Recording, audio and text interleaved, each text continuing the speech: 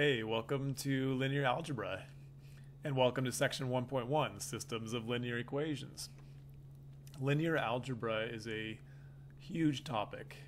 It encompasses a ton of theory and a ton of applications, especially now that we live in the digital era where computers tend to think the same way that linear algebra thinks. Uh, but at the heart of all of linear algebra is the idea of systems of linear equations. Uh, so that's where we're going to begin. And we're going to start with a few definitions just to make sure that we're all on the same page when we say something like linear. Uh, so let's start by talking about what we mean when we say a linear equation. So uh, here's Abel's definition of a linear equation. So linear equation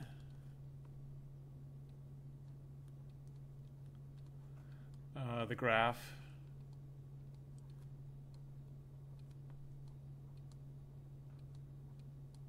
uh, the graph has no bends to it. It's straight.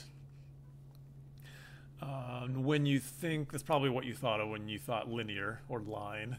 Um, and in two dimensions, uh, that's true.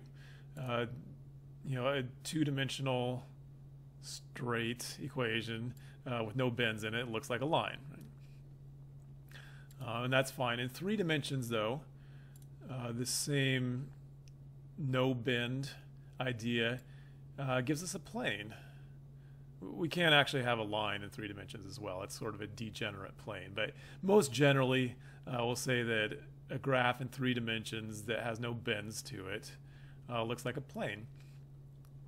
I didn't bring my four-dimensional grapher or my 10-dimensional grapher, uh, which we, you know, our brains can't visualize that. But fortunately, linear, linear algebra can handle four dimensions, 10 dimensions, 100 dimensions just fine you can see where it starts to get theoretical instead of just graphical.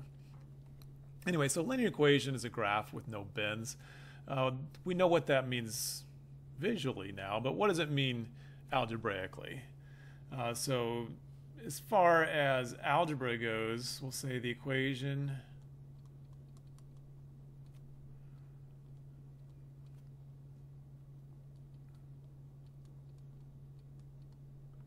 has the form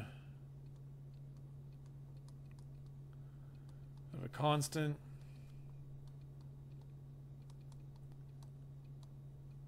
times a variable to the first power plus another constant times another variable and so on.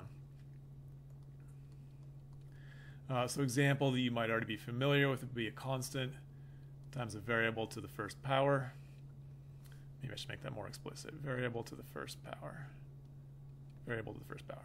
Constant times a variable to the first power plus another constant times a variable equals, let's just say another constant. Okay.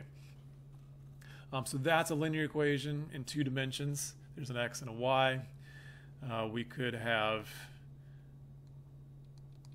a three-dimensional version of this, which would be something like 2x plus 3y plus 4z equals 12, and that equation would look like some sort of plane.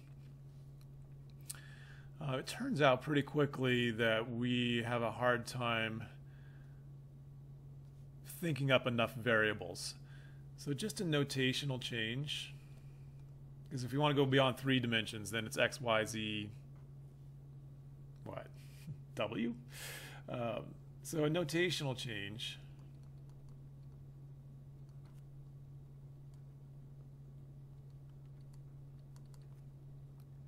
In linear algebra, instead of going x, y, z, uh, we're going to go x1, x2, x3. And then we can go as far as we want, right? We can have an x4, an x5, an x100 if we need to. Uh, so this same equation up here would look more like 2 x1 and these the little sub 1. So 2x1 plus 4 x2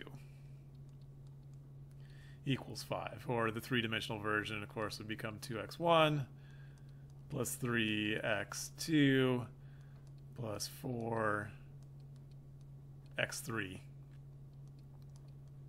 equals 12.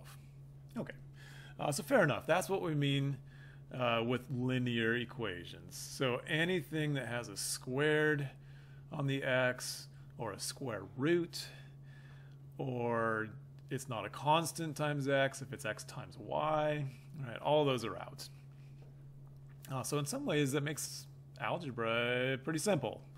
Don't worry, we'll make it hard. I know some of you are saying, where's the challenge? But we will make it hard, don't you worry. Uh, okay, so that's a linear equation in two dimensions and a linear equation in three dimensions. Uh, let's go ahead and actually talk about what we mean when we say a system.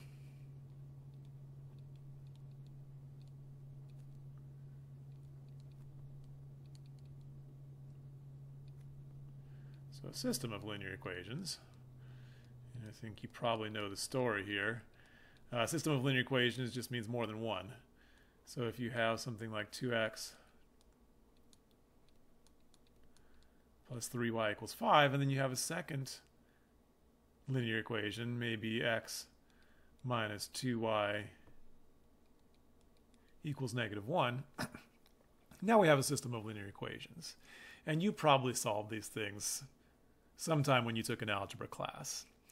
And you know that the solution numerically means find the x number and find the y number that you can plug into the first equation and into the second equation, and it works in both equations. Matter of fact, this would be a great time to pause the video, solve it however you remember to solve it, and if you don't remember at all, that's okay. But if you do have an idea, go ahead and pause the video right now. Uh, just see if you can knock this out, find the x and the y that solve both equations.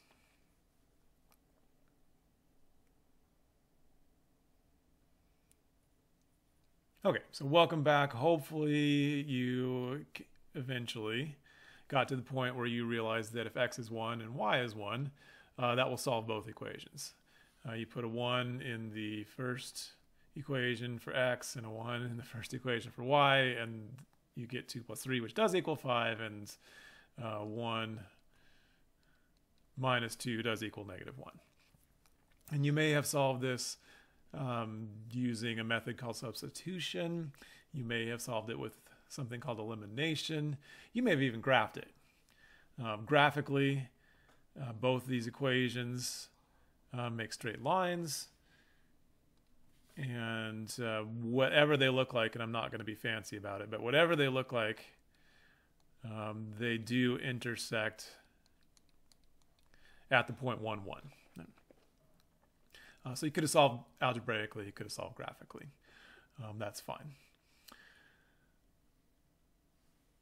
In three dimensions, uh, you are looking for the places where all three planes intersect. It's not enough that just two of them intersect, right? Because it has to solve all three equations. So I'm not even going to try to draw three planes graphically.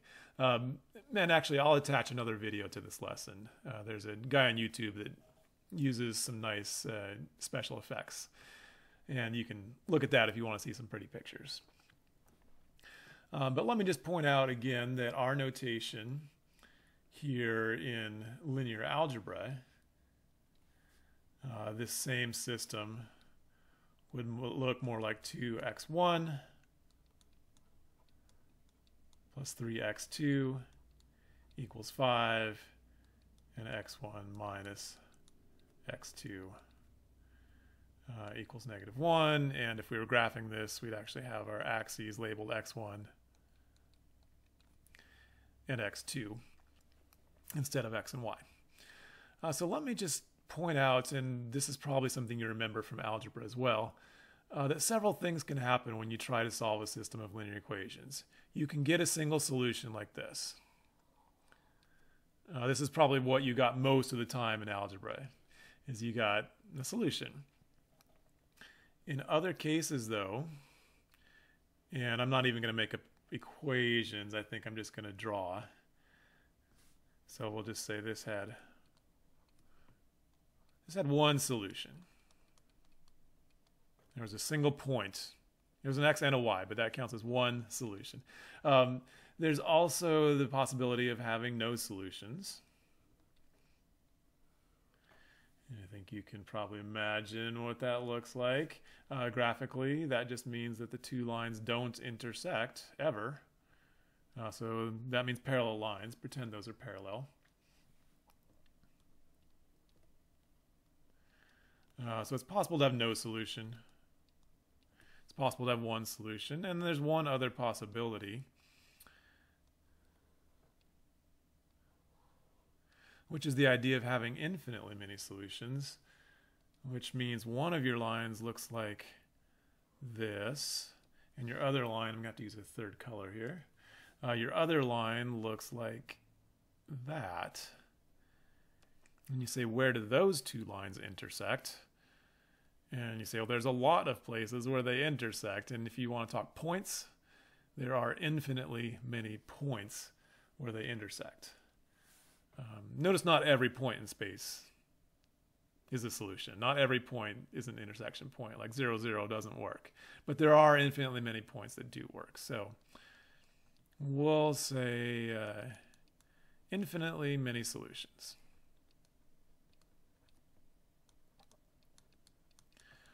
And I'd just like to point out these are the only three cases for linear equations even in three dimensions, even in 10 dimensions, the fact that they're linear, that they don't bend, means you can't ever have one that just has two solutions. Think about what it would take to have two solutions. You'd have to have one of your linear equations. Oops, wrong color. Uh, one of your linear equations and then for the other line to only hit it twice, it would have to somehow bend to only get two solution points. So with linear, straight, non-bending equations, your only possibilities are no solutions, one solution, or infinitely many solutions. So we'll attach some more language to that in the next video. Uh, I will see you there.